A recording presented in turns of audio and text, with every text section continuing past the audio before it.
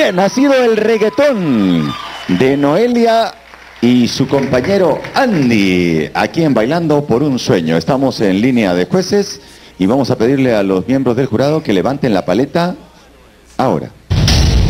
9, 9, 9, 3, 9, 9 de Alexander Cerrato, votación secreta de Patricia Paz, 9 de Osmel Poveda y 9 de Andrea Albergue, es la, no- es la nota más alta de la noche, 27 puntos.